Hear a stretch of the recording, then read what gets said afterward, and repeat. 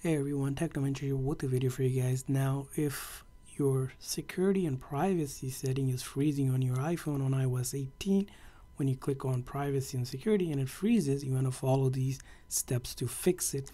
First thing you're going to do is go in your setting on your iPhone and then click on display and brightness and then you're going to tap on text size. Now the text size, you want to move this around basically and set it to the default which is right in the middle. So you see right here you want to set it there and then then close out the app the settings app. So swipe up and then close it out and then go back and it should no longer freeze anymore for you. Now if it's still freezing the next thing you're going to do is quickly press and release the volume up quickly press and release the volume down and then hold on to the side button until the screen goes completely black and the apple logo appears so the volume up volume down then hold on to the side button just like that. You're wait until the screen goes completely black and the apple logo reappears.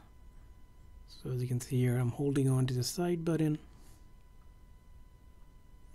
Once I see the Apple logo appear I let go of it. Again all I did was quickly press and release the volume up volume down without touching the screen and then holding on to the side button until the phone basically shuts down and reloads the software. This method will not delete any of your data. And once you're back on, it should be fixed and your privacy and security settings should be working. Now, if that isn't working for you, the last thing to do, or if you're finding that this works but it comes back again, you're going to want to go to settings, general, software update, and check if there's update out. If there is, go ahead and update your phone. Apple already knows this is a bug or a glitch going on and they're eventually going to have an update to fix this. So that's it for troubleshooting and fixing it. And if you found a better way to fix it, leave a comment in the comment section. Thanks for watching guys. See you guys next time.